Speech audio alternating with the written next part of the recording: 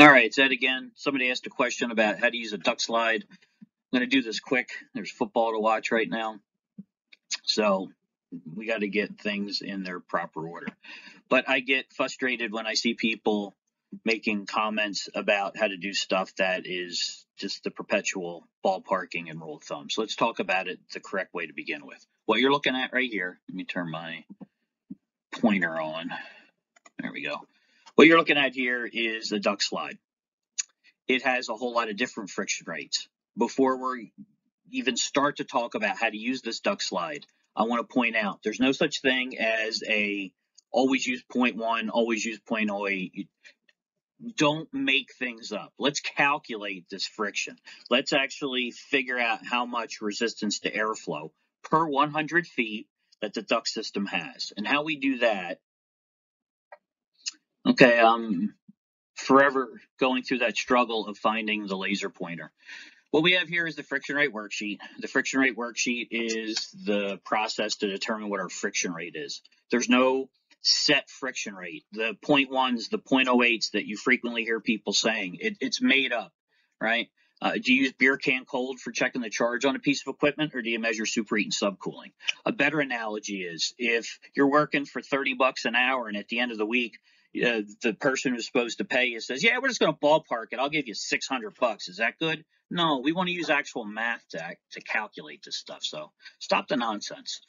The friction rate worksheet's very straightforward. It is the the backbone, if you will, of ACCA's Manual D, and we can determine what the actual friction loss per 100 feet through our duct system is if we calculate our friction rate. It's pretty straightforward. The 1000 CFM comes from another calculation that uh, is not 400 CFM per ton. It's based off the sensible BTUs that are required for the house. The sensible heat ratio of the house dictates what our CFM per ton value is. I have a sensible heat ratio video. Uh, go look at that if you're not familiar with sensible heat ratio. We're talking about duct slides today, though. But you can't just use a duct slide. You have to calculate your friction rate first. So we have a 1,000 CFM as our uh, required airflow. And when we looked in the blower tables from the furnace manufacturer in this example, we found that we have 0.6 for our external static pressure at 1,000 CFM. From that, we're going to try and solve for our available static pressure, which is done by taking any pressure losses that exist in the system. In the system, what we're we're solving for is the critical path in the duct system. And the critical path is the one duct run, longest return plus the longest supply to figure out what the worst case scenario is.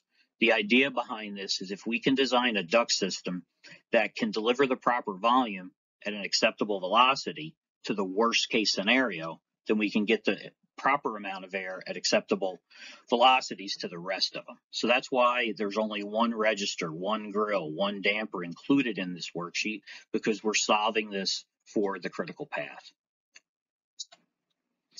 Our total device losses when we add them up come up to 0.4.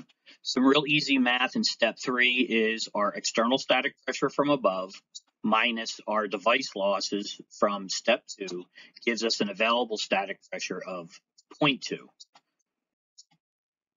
This is an example of a worksheet that you'll find in Manual D, and it shows us taking trunk lengths and fittings and everything to solve for our supply as well as our return critical path.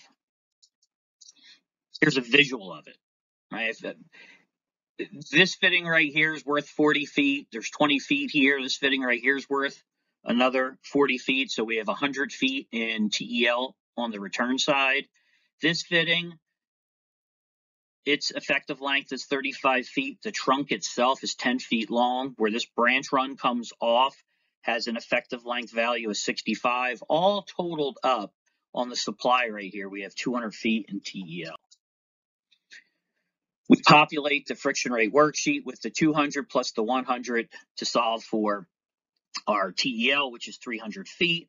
And then we simply take the friction rate chart, also known as the ACCA wedge, and we put in 300 feet and it intersects with the 0.2 uh, available static. And we're somewhere between 0.06 and 0.08. If you wanted to round that to 0.07 for your friction rate, knock yourself out. Absolutely nothing wrong with doing that. I got a little carried away here and I am showing you the math. Our friction rate's equal to available static pressure times 100 divided by your TEL. It works out as so. Our friction rate ends up being 0.066. If you want to use 0.066, cool. If you want to use 0.07, cool. It, it it's not going to make that much of a difference. The big thing here is don't arbitrarily use 0.1 or some mythical number that people just like to pull out of their, well, keeps this PG. So we solved for step five, which was our friction rate of 0.066. There's a ductulator. I have my